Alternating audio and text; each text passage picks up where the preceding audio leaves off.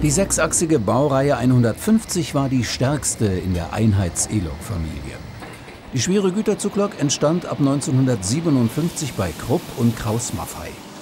Sehen Sie seltene Bauszenen aus den Werkhallen bei Krupp. Betriebsszenen aus den 60er, 70er, 80er und 90er Jahren machen diesen Film zu einem Erlebnis. Auch das damalige ELOC-Ausbesserungswerk in Opladen haben wir für Sie in den 80er Jahren besucht. Sehen Sie die letzten Einsätze im Schiebedienst. Auch die heutigen Museumsloks E50091 in Koblenz und 150 186 fehlen natürlich nicht.